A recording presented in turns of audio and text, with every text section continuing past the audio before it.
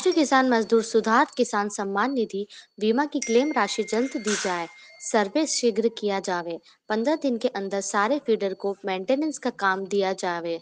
लोगों ने कई विषयों पर चर्चा। विद्युत विभाग की सबसे मुख्य समस्या सामने आई। मलापीट फीडर पर दो महीने से सप्लाई नहीं है। धमासा में बेघर मोहल्ले में एक महीने से ट्रांसफार्मर नहीं था।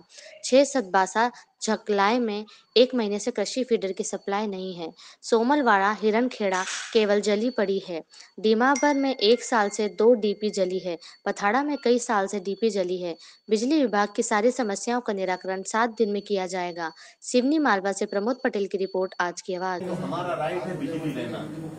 हम हमारा राइट छोड़ दें आप आपका राइट मत छोड़ बिजली बराबर तो आपको तो दस घंटे भी नहीं देते भैया। दस घंटे बिजली नहीं दस घंटे तो मैं कह दूँ इस ज़िले में एक भी सब स्टेशन किसान को दस घंटे सप्लाई नहीं दे रहा। नहीं मिल रहा ये मैं चैलेंज करता हूँ और नहीं तो आप सारे सब स्टेशनों की एमआरआई निकलवा लीजिए।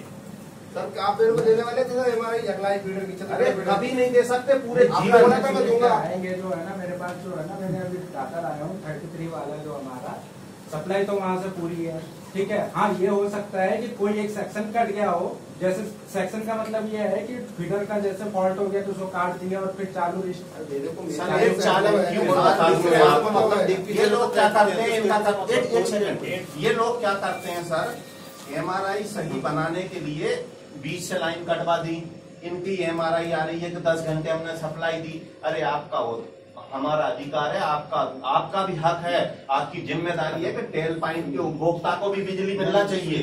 एमआरआई दिखा देने से नहीं क्या नहीं होता? नहीं, हमारा की बात नहीं है बात ये है कि फॉल्ट अगर हो गया तो हम सेक्शन काट के फिर बाकी का जो जितने उपभोक्ता है उसे तो तुरंत में चालू करें फिर बाकी का जो है बाकी की पंद्रह दिन बाद दिखवाते हैं।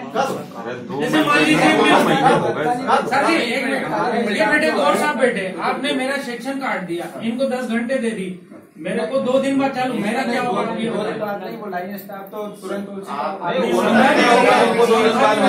होना बात है। है।